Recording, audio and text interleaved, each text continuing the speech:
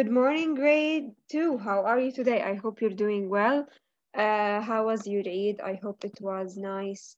Uh, I want you to open your pupils books to page number 112, 112, and we will do it together. Um, read and match, write the letters. So we have pictures with letters and sentences. Number one, the children climbed on the rocks. So it is the letter C. Uh, the girl looked at the starfish, B. The boys played in the water, A.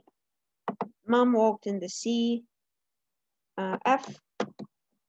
Dad painted to a big, pointed, sorry, pointed to a big ship. B. Finally, grandma opened the picnic box. Uh, D. Okay. Let's take a look at the sentence. I was on the beach. I walked on the sand. Was. We use was to talk about the past. And who can tell me was and where to talk about the past? And we use, and for the present,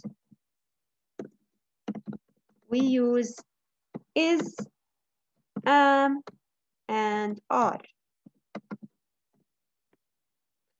And we use those, uh, we use past to talk about something that already happened and present to talk about now. So past to talk about yesterday, uh, before a, a, day ago, or maybe before a month, before uh, one year. So to talk about something that happened already, al-madi.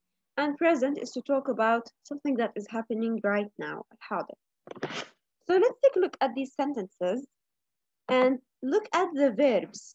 Climbed, looked, played, walked, pointed, and opened. Those are all verbs. So this is a verb, verb. They're all verbs, afal, and they all end in ed. So they all end with with ed. They all end with ed.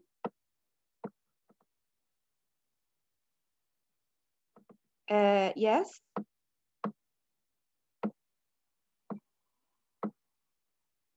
They all end with ed. Why?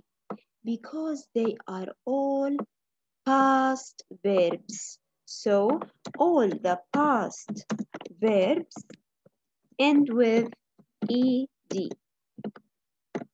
such as walked, talked, watched. So when you see a verb that ends with ed, you know that it is talking about the past. So لما الفعل ينتهي ب ed, it is about the past. هو فعل في الماضي.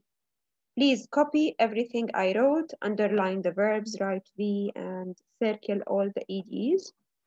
Have you finished? Wonderful. Now, let's move on to correct the sentences.